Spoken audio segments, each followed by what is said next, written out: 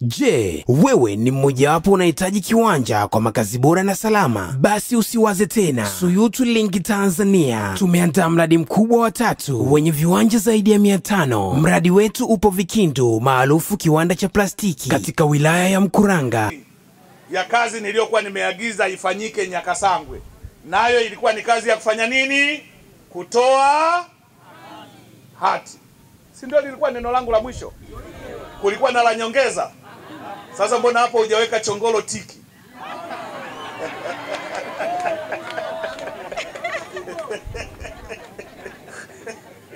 eh?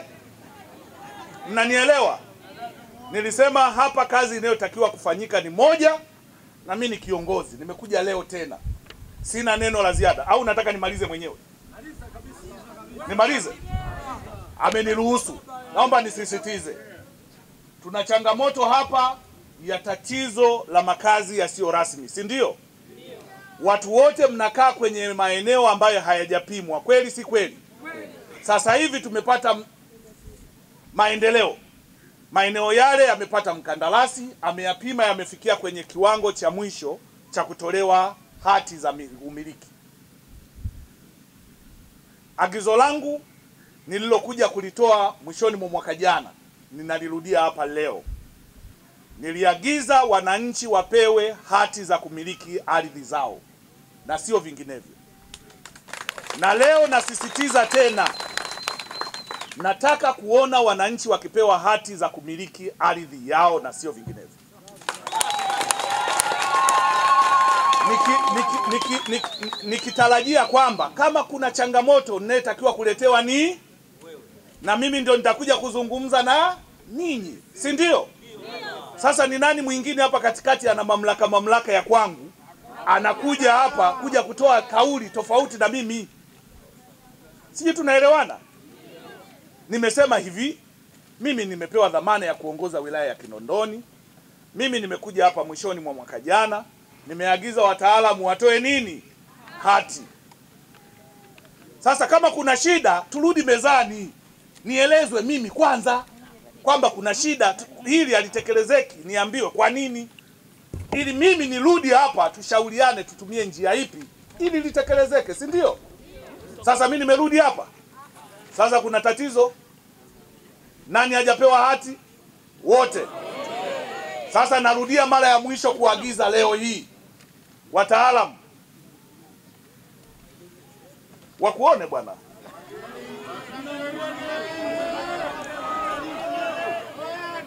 Hii hapa bwana.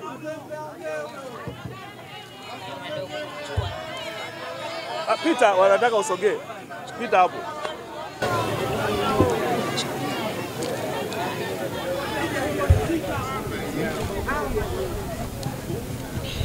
Mheshimiwa mkuu wa wilaya, Ngoja nikae kabisa bwana, ili nikusikie vizuri na mimi. nitoe maelezo kwa ufupi. Kwanza ni kweli mliagiza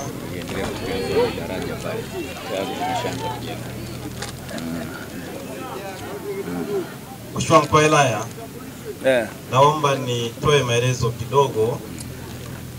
Kwa majina naitwa Madugu Kazi, mimi ni mkuu wa idara ya ardhi na mipango miji manispaa ya Kinondoni. Hata kikao cha mwisho ambayo Mheshimiwa mkuu wa wilaya alifanya hapa nilihudhuria pia. Kwa hiyo naelewa Mheshimiwa mkuu wa wilaya alitoa maelekezo wananchi wa Nyakasangwe waanze kupata hati. Naomba niseme tu kwamba moja, kwanza tushatekeleza agizo. Tulianza kwa kuweka makundi katika eneo hili. Mheshimiwa Mkwela, kama unavyofahamu, upimaji wa Nyakasangwe tulipima viwanja 9741 chini ya kampuni ya Afromap, na katika hapo kulikuwa na makundi mawili. Lipo, sehe, lipo sehemu ambayo haikuwa na mgogoro, ipo sehemu ambayo ilikuwa ina mgogoro kati ya wakazi na wenye mashamba. Ili kurahisisha kazi, baada ya agizo lako, tulianza na ile kundi la kwanza ambalo halikuwa na changamoto wala ambao hakuwa na mgogoro. Kazi ya kutoa hati inaendelea. Kundi la pili nalo hatukulala, tulitengeneza kituo, tulikuja huku kufanya uhakiki, kila mtu kwa eneo lake na jina lake. Mheshimiwa Mkuu, nafurahi kusema kwamba tulipo hapa tuna orodha ya watu na mahali walipo, lakini ikumbukwe pia wakati tunaanza zoezi hili kulikuwa na kamati ya wenye mashamba na kamati ya wakazi ambao pia tulitengeneza mkataba na serikali. Wapo watu walikuwa kwenye mkataba.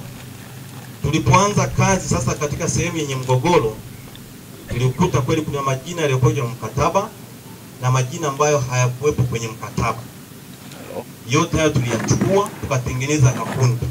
Kundi la kwanza walio kwenye mkataba tunao watu elfu moja mia nne arobaini na mbili kila mtu kwa kiwanja chake kilichopendekezwa, lakini pia tupo na majina ambayo hayakuwepo kwenye mkataba, lakini wakati wa uhakiki tumeyakuta, nayo tumewatengenezea bachi lake.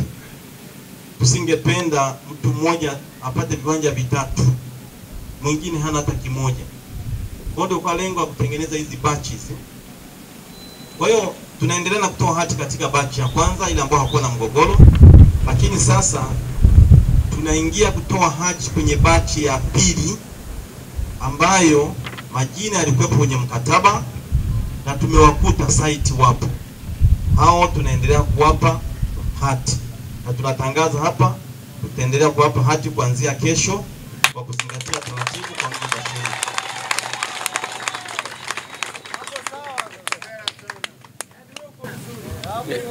Mheshimiwa Mkuu wa Wilaya, katika makundi mengine wale ambao hawakuwepo kwenye mkataba lakini tumewakuta site wapo, kuna maswali ya kujibu.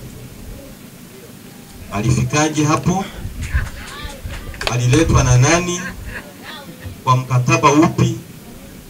Na kundi la tatu tutatoa hati, lakini baada ya kuwa tumelizika na maelezo. Lakini labda niwape changamoto pia.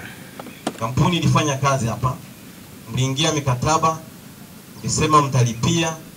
Kwa tuombe tu wale ambao hawajalipia lipieni, sababu kazi imeshafanyika. Ungwana ni vitendo, tutimize, kila mmoja atimize wajibu wake. Lakini pili, pili e, mkuu wa wilaya amesema kwamba tuendelee kuwa hapa hati na tutaendelea kuwapa hati. Niseme tu kwamba hati ni ni ni document kwa mujibu wa sheria. Kwa ina masharti yake. Moja, utatakiwa uwe na kitambulisho cha, cha taifa. Kwa sasa mnajua manispaa ya Kinondoni, kwa maana ya wilaya ya Kinondoni yote tunatoa hati za mfumo wa kielektroniki. Hati ya kielektroniki, hitaji kubwa uwe na kitambulisho cha taifa, kwa sababu na uandaliwa hati yako, mfumo hii inaungana, inaona, inasomana, kwa taarifa zako zitakuwepo. Lakini pia yapo malipo kwa mjibu wa sheria mnafahamu, mimi naamini nyinyi mna viwanja mahali pengine, yapo malipo kwa mjibu wa sheria. Narudia, kwa mjibu wa sheria mtapaswa kulipia ili muweze kupata hati zenu. Na Mheshimiwa Mkuu wa Wilaya, kama itakupendeza, kama tulivyofanya mara ya kwanza, sisi tulikuja hapa tukashirikiana na wananchi vizuri, na kweli ni pia ni ubunifu mzuri tu. Sisi tunaweza kaamua tu tutaprinti, watatupa majina yao sahihi, tutaprinti zile invoice, tutakuja nazo hapa, tutawagawia kila mmoja ajue kiwanja chake, sababu itatofautiana. Mimi na kiwanja cha square mita mia tatu malipo hawezi kulingana na yule aliye na kiwanja cha square mita mia tano kwa sababu ile inaenda kulingana na ukubwa wa kiwanja na matumizi ya kiwanja. Ni malipo ambayo yapo kwa mujibu wa sheria. Tuna wajibu, narudia tena, tuna wajibu wa kuhakikisha tunashiriki masuala yote ya msingi yanayotuhusu. Mimi kwa nafasi yangu ya ukuu wa wilaya, wapo watu anakuja anasema, mkuu, tunaona unafanya mambo mazuri, tumekuja kukuletea zawadi. Nikiangalia naona amechukua pale milioni mbili, milioni tatu. Huwa nawaambia nina akaunti ya mfuko wangu inaitwa namba hii hii hii, iko benki hii, nenda katumbukize humo. Akitumbukiza, ninawaambia watu wa elimu mkurugenzi, mle ndani naona kuna watu wametumbukiza kama milioni thelathini. Hebu toa peleka Nyakasangwe ikajenge nini madarasa. Sio kwamba mimi sio masikini, lakini dhamana yangu inanipa full, inanipa ukomo wa kupokea zawadi.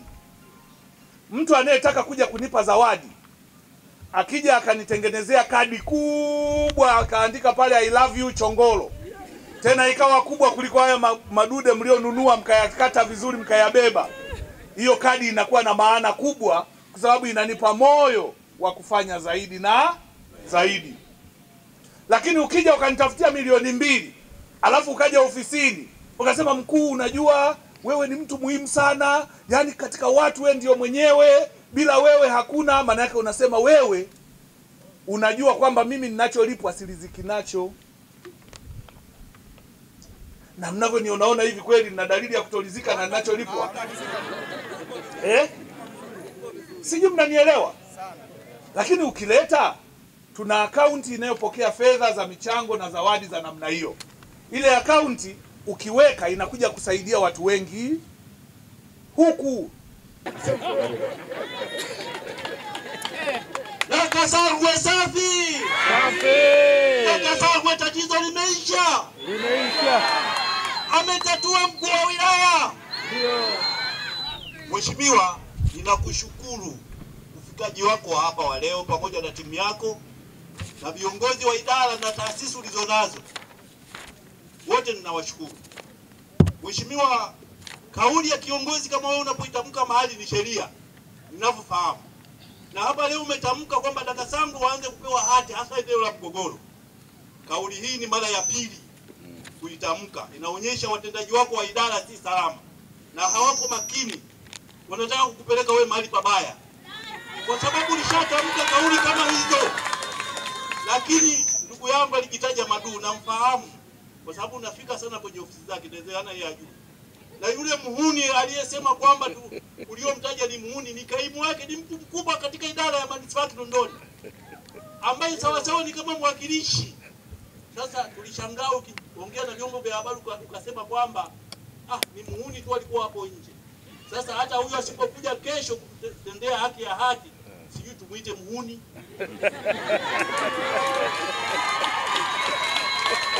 Mheshimiwa Mheshimiwa wangu, samahani, nimelazimisha kwa nguvu, lakini naomba kusema yaliyo moyoni.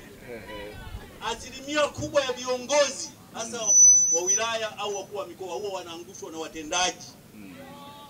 Nikinukuu, kuna mkuu mmoja wa mkoa wa Singida aliwahi kupoteza kazi kwa ajili ya katibu tawala, akasema kwangu hakuna majina hewa kama una kumbukumbu ya sawa sawa na watendaji wako wa wilaya ya Kinondoni, hasa manispaa ya Kinondoni. Sio wema, sio wema kabisa. Ni hajawa na muda mrefu, walikuja baada ya kuondoka Waitara. Na kumbukumbu nyingi, na kuna mambo mengi ya kupanga katika mipango yao wanaokuja kuhakiki huku. Kuna kamati, hiyo kamati mheshimiwa, hata wewe uijui, Unaonana na watu wawili tu katika ile kamati, lakini kuna kamati iliendesha mchakato mpaka jambo hili likafikia kama ulivyolikuta wewe, lakini naamini hujawahi kuwaona. Hata mimi wala hunijui. Unanijua mheshimiwa? lakini viongozi wengine wote waliopita hapa wananifahamu, wote waliopita. Ukimuuliza Hapi, ukimuuliza Makonda, mheshimiwa, wote tumekutana nao, utakuambia nao. Lakini mheshimiwa, wewe sikujui mimi. Sasa sijui una kamati ipi inayokupa ushauri kuhusu mgogoro huu wa huko. Kamati yangu hii hapa hivi, si nimekuja kuongea na wote.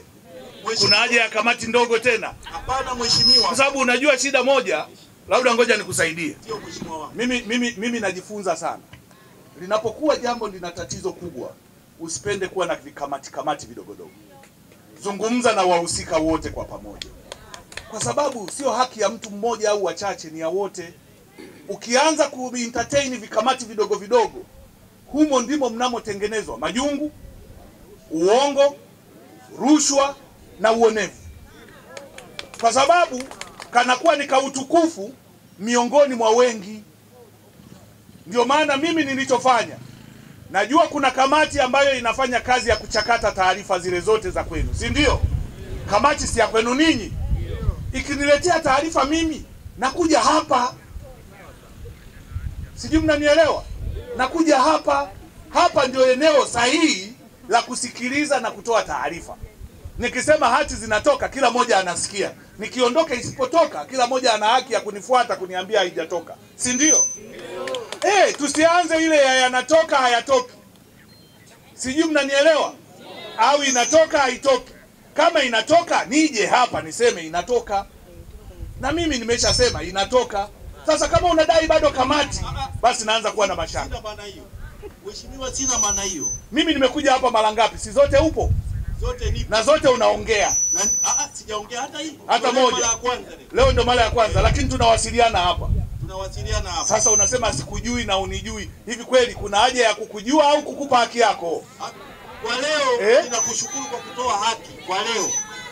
Kwa hiyo hiyo mheshimiwa, ninakushukuru, lakini ugomvi wangu mkubwa ucheze vizuri na hii timu ya manispaa upande wa ardhi, na la pili mimi nikuombe, mimi ninajua nina, nina, nina, ninajua jambo moja kwamba kuna changamoto pia ya kupokea taarifa.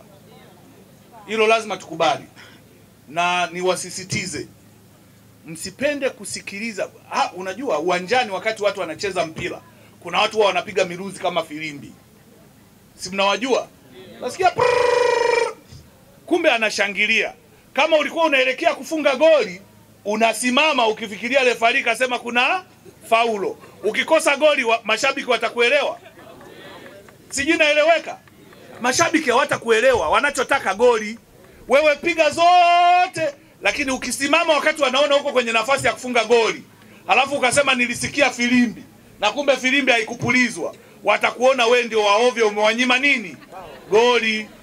Je, wewe ni mmojawapo unahitaji kiwanja kwa makazi bora na salama? Basi usiwaze tena. Suyutu Link Tanzania tumeandaa mradi mkubwa wa tatu wenye viwanja zaidi ya mia tano. Mradi wetu upo Vikindu, maarufu kiwanda cha plastiki katika wilaya ya Mkuranga. Kama unatokea Tandika, Gerezani na Posta, utapanda gari moja tu mpaka Vikindu. Ukitoka Vikindu kufika kwenye mradi wetu ni umbali wa kilomita tatu tu. Mradi wetu umezingatia masharti na vigezo. Huduma zote za kijamii zinapatikana kama vile maji, umeme, shule, hospitali. Vyote hivi vinapatikana kwa ukaribu. Barabara zinapitika masaa 24 pamoja na makazi ya watu wanaoishi. Viwanja vyote vipo katika hali ya tambarare, viwanja vyenye ukubwa wa futi 40 kwa 50. Bei zetu ni nafuu, milioni moja na laki nane kwa kila kiwanja. Utalipa kwa awamu mbili, bila kusahau nyaraka zote za kiserikali zinapatikana. Wote mnakaribishwa Youth Link Tanzania. Kwa mawasiliano piga namba 0658